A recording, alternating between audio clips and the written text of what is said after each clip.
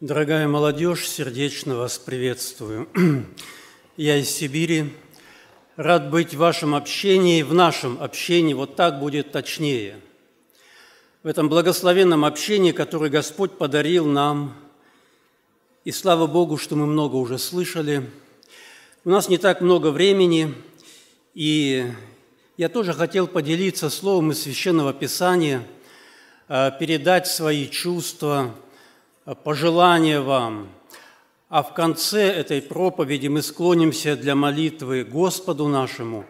И если у кого-то из вас зреет в сердце желание обновить свои отношения с Господом через молитву покаяния, внутренние решения, да поможет Господь это сделать. Моя тема может быть, не очень будет вписываться в общую тему обозначенного общения, хотя думаю, что этого вопроса тоже коснусь. Я прочитаю Евангелие Марка, первая глава, с 9 стиха. Речь идет о крещении Господа нашего Иисуса Христа на Иордане, когда Он пришел к Иоанну. «И было в те дни, пришел Иисус из Назарета Галилейского и крестился от Иоанна в Иордании. И когда выходил из воды, тот час увидел Иоанн разверзающиеся небеса и духа, как голубя, сходящего на него. И глаз был с небес, «Ты, Сын мой возлюбленный, в котором мое благоволение». Вот эти стихи. Тема моей проповеди взята из этого отрывка, и я, и я ее сформулировал так. «Открытое небо». Открытое небо в жизни Господа нашего Иисуса Христа. Здесь эта мысль прослеживается ясно. Иоанн увидел разверзающиеся, открывающиеся небеса, и потом последующие явления, о которых мы прочитали, и что-то о них скажем. Я хочу рассказать один случай – жизни благовестников. Это было уже много лет назад, это было в тундре, когда братья из одного поселка передвигались в другой для того, чтобы посетить небольшие группы, небольшие стойбища хантов, немцев. И случилось так, что э, навигатор, по которому они передвигались, GPS, эм, он перестал работать наступает ночь, темное время, в каком направлении двигаться сложно определить. Ориентиров нет. Братья в этой местности неопытные совершенно в передвижении. Хорошо, что среди них оказался местный житель. Все остановились. Что теперь будет? Мороз на улице – он внимательно, этот местный житель Хант, кажется, был, смотрел на небо и потом говорит, надо двигаться вот так. И все так поехали за ним. И точно, безошибочно приехали в то место, куда направлялись. Что-то поняли из его ориентиров – а потом в кругу братьев за столом его спрашивают, называя по имени. Вот ты сориентировался по приметам на небе, скорее всего, по расположению звезд. А если бы небо было закрыто, тучи, что тогда? И он сказал такие слова, тогда нам всем было бы очень плохо. Дорогая молодежь, когда небо закрыто в нашей жизни, когда вот это выражение, под которым мы понимаем отношения с нашим, с нашим Господом, когда этого нет, когда это все плотно закрывают тучи неверия, непокорности, непослушания, может, еще каких-то проявлений, тогда Всем нам очень плохо. И я понимаю так, что цель молодежного общения одна из целей заключается в том, чтобы яснее поставить эти ориентиры, чтобы вот это небо как-то ближе к нам стало, и мы стали бы ближе, и чтобы безошибочно шли к той цели, которой направляем пути свои. Итак, открытое небо в жизни Господа нашего. Что ему предшествовало, этому открытому небу? Три момента, коротко. Первое – это его готовность исполнить волю Небесного Отца. «Вот иду исполнить волю Твою, Боже мой, и закон Твой у меня в сердце». Это момент пришествия Господа нашего на эту землю, а там на небесах еще был совет, в котором Господь сказал эти слова. «Наш Господь Иисус Христос, иду исполнить волю Твою, Боже мой». Желание исполнять волю Небесного Отца – это предпосылка к открытому небу. Когда заканчивалась жизнь и служение Господа нашего на этой земле, Он почти последним словом сказал такое слово «совершилось». Вы помните это слово, молодежь? И вот между тем и другим событием у Господа было состояние открытого неба. О нем можно много говорить. Это, это ценнейшее благословение, которым Он очень сильно дорожил.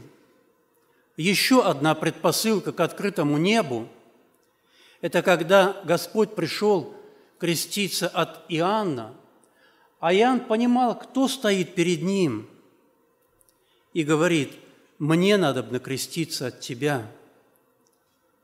И Господь в ответ Иоанну говорит, «Теперь оставь». Так надлежит нам исполнить всякую правду. Что в этих словах заключается? Наш Господь знал, откуда Он, кто Он, Откуда он исшел и куда идет, он все хорошо знал.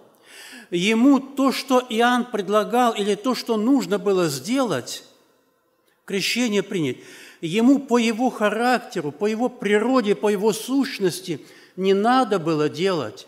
Но он понимал, воля Небесного Отца заключается сегодня в том, чтобы я пошел этим путем. Итак, это путь глубокого смирения – послушание и смирение своему Отцу. Это предпосылка к открытому небу. И еще одно. В Евангелии Луки об этом более выразительно написано. «И когда он молился, небо открылось». Молодежь, дорогая, я хотел бы, чтобы мы запомнили эти моменты и в своей жизни снова и снова обновляли их и практиковали. Это предпосылка к открытому небу. Я в конце моей проповеди планирую сказать о том, как трудно, а иногда для некоторых наступает момент, когда невозможно, чтобы небо открылось. Ты будешь очень много делать, может быть, кричать, но небо будет закрыто – потому что пропустил тот момент, когда Бог открывал для тебя это небо, давал эту возможность приблизиться к Нему. Как в жизни Господа проявлялось состояние открытого неба? Духа Святого послал Отец Небесный, и Господь Иисус был не только рожден от Духа Святого, но Он был и исполняем Духом Святым – Сила свыше наполняла его. Это было свидетельство открытого неба. Это было ясное свидетельство утверждения Небесного Отца, пути Его Сына, одобрение, по-другому можно сказать, и благословение, дарование силы, чтобы делать те дела, для которых Он пришел на эту землю. Еще одно это внутреннее свидетельство. Неоднократно Отец Небесный таким особенным образом свидетельство Сыну Своему посылал голосом «Ты, Сын мой, возлюбленный, в Тебе мое благоволение». Молодежь дорогая, вот это свидетельство нам в сердце посылает Господь, когда у тебя есть внутреннее понимание. Это не какая-то мистика, а это ясное внутреннее свидетельство. Бог твой Отец, а ты Его дитя. Вот это признак открытого неба. Его другие понять не могут, окружающие тебя, особенно необращенные люди, не знающие Бога. Ты будешь им об этом рассказывать, тебя могут посчитать за ненормального. Но для тебя совершенно ясно, что ты дитя Небесного Отца. Ты человек возрожденный. Ты идешь тем путем к Богу Отцу, к тому, которого любит душа твоя, свидетельство Небесного Отца. Еще одно. У Господа нашего Иисуса Христа признак открытого неба проявлялся в том, что Он делал дела Отца Своего – я делаю дела Отца своего. Я делаю то, что я видел у Отца. Сын ничего не делает сам от себя. Что видел, то делаю. Молодежь, дорогая, это для нас пример. Что мы делаем, как мы говорим, как мы поступаем, откуда мы берем этот образ, откуда мы берем этот пример – Можем ли мы сказать, я делаю то, что делает мой Отец, мой Спаситель? По крайней мере, я искренне стремлюсь к тому, чтобы делать так, как хочет Господь. Знаете, молодежь, наверное, это не такая простая задача. Я один пример хочу привести из жизни нашего Господа. Когда пришли Его уже взять, были посланы некоторые люди, а он проповедовал, он говорил, он общался с людьми, с людьми, которые вокруг были. И те, кто пришли, вернулись к тем, кто посылали его, и спрашивают посылавшие у воинов, почему вы не привели его? Они отвечают – никогда человек не говорил так, как этот человек. Его речь отличала. Его речь отличала, отличалась от других людей. Его речь говорила о чем-то небесном, о печати небесного, о печати какой-то святости, о печати какой-то вот э, чего-то неземного такого – и другие дела. Окружающие люди видели это, замечали, они обращали на это внимание, иногда говорили, Бог посетил народ свой. Молодежь дорогая, Господь Иисус был подарок небес этой земле. И Он был действительно свет истины. Молодежь, мы подарок Господа нашего Иисуса Христа этому грешному миру – как послал меня Отец, так и я посылаю вас. И вот как важно, чтобы в нашей жизни тоже была бы печать действительно открытого неба, что мы живем в таком вот присутствии Бога, что мы так в нашей жизни поступаем, что мы стремимся так поступать. Не все у нас может получаться. Иногда мы оступаемся, падаем, мы сожалеем – мы плачем об этом, но вновь мы возвращаемся к состоянию открытого неба. Мы хотели бы вернуться к этому состоянию. Однажды апостол Петр был с другими учениками некоторыми со Христом на горе Преображения. Помните этот момент? И там так ярко-ярко проявилось небо открыто. Преобразился образ Господа Иисуса Христа – Беседа там была. Ученики спали, а потом вдруг просыпаются, они видят то, что происходит, еще пока слабо осознают, что происходит. Но чувства, которые наполняли их сердца, апостол Петр выразил так, «Господи, хорошо нам здесь быть. Не хотелось бы уходить, хорошо. Это действительно особенное, хорошее состояние. Хорошо нам здесь быть. Спускаются с горы, а потом через некоторое время ситуация меняется. Господь Иисус оказывается теперь уже арестованным и в доме первосвященника. И в этом же дворе апостол Петр, ученик его.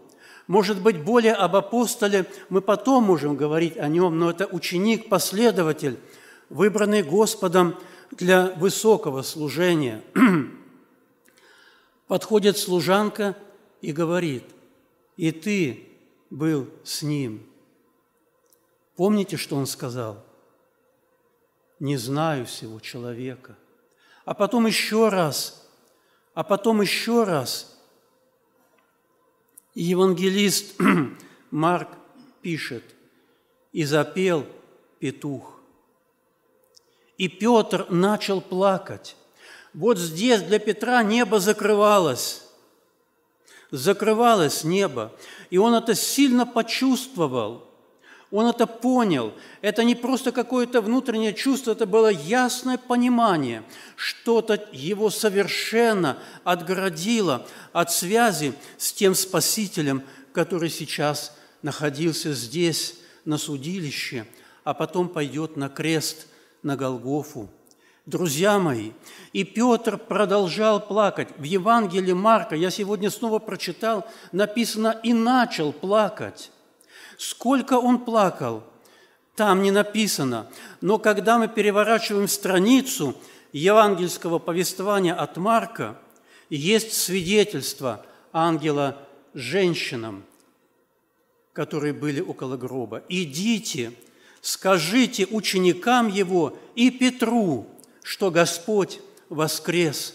Я не думаю, что уже тогда восстановился Петр в своем состоянии внутреннем близости к Господу.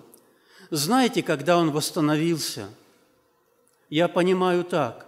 Он восстановился тогда, когда Господь спрашивал его, «Любишь ли ты меня?» Вот это тема нашего общения. «Любишь ли ты меня?» И когда изнутри искренне ты знаешь, ты все знаешь, ты знаешь, что я люблю тебя. Не получилось, не устоял, споткнулся, переоценил свои силы, но внутри мое стремление к Тебе, Господи, Ты знаешь, что я люблю Тебя. Состояние открытого неба восстанавливается снова. Я хочу, дорогая молодежь, еще один текст Писания процитировать и проиллюстрировать его видимым образом. Обычно я так не делаю, но думаю, что, может, яснее будет без многих объяснений, если так сделаю. В Евангелии, э, в послании э, Коринфянам, во втором послании Коринфянам, в 11 главе, вторым и третьим стихом апостол Павел пишет такие слова «Я обручил вас единому мужу, но боюсь, чтобы как змей хитростью прельстил Еву, так и ваши умы не уклонились, не повредились, уклонившись от простоты во Христе. Немножко сложный текст. Надо больше дополнительного времени, чтобы объяснить его. Поэтому я решил использовать иллюстрацию. Павел говорит, «Я обручил вас единому мужу. Вот белый листок, свеже, свежесть, чистота, ясность. Вот это то, что делает Господь с нами при возрождении. Свежесть отношений с Богом, ясность, как поступать. Вопросы встают, но они как будто бы так разрешаются – и все ясно, и просто, и чисто, и совесть чиста, и сердце чисто, и стремления чистые. Я обручил вас единому мужу. Не уклонитесь от простоты во Христе. Что это такое простота во Христе? Я сгибаю этот листок –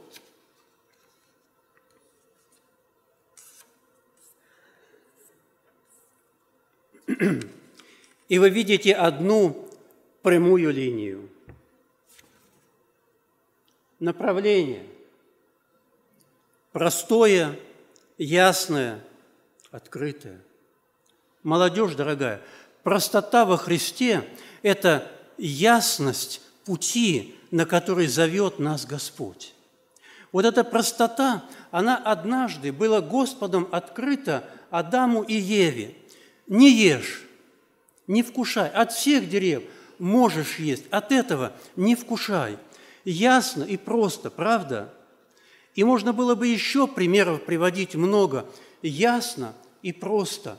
Но что делает враг души? Он приходит в жизнь наших прародителей, он также приходит и в жизнь нашу, в жизнь возрожденных людей, как искушение приходит. И что делает? Он его просто сминает. А что теперь? Много разных линий, много разных направлений. Где то ясное, четкое направление, которое было обозначено – оно где-то чуть-чуть может прослеживаться, но так все смешано, так все смято. Молодежь, вот что сатана стремится сделать с нашим ясным пониманием пути, с нашими чистыми отношениями с Господом, с тем небом, которое могло бы и должно бы быть для нас открыто. Вот это он делает. А потом у Евы появляется много вопросов. А потом Ева на это дерево, о котором Господь сказал «не ешь», она смотрит и говорит, и понимает, приятно, красиво, вожделенно. Что случилось? Эта ясная прямая линия заповеди Божьей сломалась. Пришло другое – это часто или, может быть, иногда наша жизнь. Я расскажу вам один пример из своей жизни. Это было в моей молодости. С работы я иногда ходил домой пешком. Не так далеко было. Иду однажды, сидит человек – я его раньше не замечал. А внутри свидетельство, побуждение. Скажи ему о Христе. Скажи. А я не знаю, что сказать. Мне трудно, мне тяжело. Я прохожу мимо. Быстро забыл это переживание. Через некоторое время опять иду этой дорогой. И опять он сидит. И теперь уже яснее. Скажи ему, скажи. Я думаю, как я начну разговор, что я скажу? И я вам скажу, я прошел мимо. Это было перед выходными. Мы работали на улице, был летний день, и вдруг я слышу звуки духового оркестра. А внутри как будто все оборвалось. Я не знал, что хоронят этого человека. Я потом узнал, чуть позже, когда мы пошли туда. Для меня небо закрылось. Молодежь, свежесть отношений с Богом ушла, исчезла ничего не осталось. Все твои мысли, все мои мысли вокруг этого, вокруг непослушания Господу. Не только в этом проявляется, не только в этом может проявляться такое состояние. Закрылось небо. Все, больше ничего не было. И я молился много, и лично молился Господу. И, и э, однажды, когда вот было подобное молодежное общение – было тоже звучала проповедь, у меня ясное внутреннее свидетельство. Тебе надо покаяться. Вот все твои молитвы, которые ты к Богу возносил, да, они перед Богом имеют значение. Но для тебя сегодня необходимо это исповедание, чтобы снова восстановить вот эти отношения с Богом. Господь мне помог сделать этот шаг. И с того времени я не, не часто рассказываю это переживание моей жизни, но каждый раз, когда возвращаюсь памятью в то время, оно как будто освежается. И то, и другое. И свежесть этих отношений снова восстанавливается. Молодежь дорогая, заканчивая вот это слово, эту проповедь, я хотел бы вам предложить. Может, сегодня есть у кого-то из вас подобное переживание по другой причине, по другой причине, возможно, но сегодня близость этих общений с Господом утрачена, свежесть их утрачена. Как восстановить? Может быть, уже что-то и делали, и пытались, но как будто ничего не получается. Сегодня вот такая прекрасная возможность, чтобы помолиться Господу, освежить эти отношения. И в конце хочу рассказать пример, который на меня произвел сильное впечатление. Я слышал его не так давно. Это было на Ямале, на полуострове Ямал, там, где проживают небольшие поселения немцев. Детей из этих семей собирают в интернат, и они какое-то время там учатся, полгода, некоторые больше там находятся. И вот случилось так, что зимой 10 мальчиков, подростков, решили идти домой, в свои дома. Они оставили интернат, об этом никто не знал, и пошли. Они сбились с дороги. К сожалению, они все замерзли. Так случилось. Это трагическая история. Но о чем я особенно хотел сказать, когда их анатомировали, почти у всех было обнаружено, голосовые связки были. Они кричали, они вопили. В напряжении все это было. Голосовые связки не выдерживали, но их никто не слышал. Им никто не помог. Молодежь дорогая, я, рассказывая эту историю, не хотел возбудить в ком-то, может быть, эмоции или чувства, но вы знаете, этот момент, именно такой момент подчеркивает ясно слово Священного Писания. Книга, притч и другие места.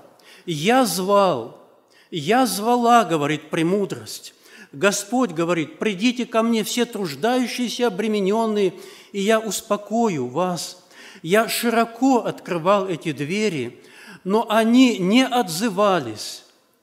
И когда Сын Человеческий встанет и закроет дверь, то тогда вы, написано, вне, станете кричать и звать, но двери будут закрыты. Дорогая молодежь, я понимаю так, что сегодня нам Бог подарил это общение, чтобы снова помочь нам обновить наши отношения с Господом, если они каким-то образом утрачены, заштрихованы, затушеваны чем-то еще. Слава Богу, что среди нас есть те, и я верю в это, кто живет в состоянии открытого неба, кто этому радуется – кто этой радостью может поделиться с другими, обогатить других. Слава Богу за это.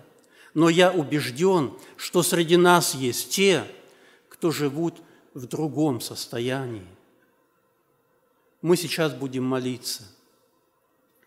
Я хочу предложить помолиться в первую очередь тем, кто нуждается в молитве покаяния и обновления, обновления своих отношений с Господом. А для того, чтобы нам чуть поразмышлять лично, я хочу предложить, чтобы мы спели всего один куплет. Один куплет, надеюсь, известного гимна. «Слышишь ли ты голос Божий? Нежно для тебя звучит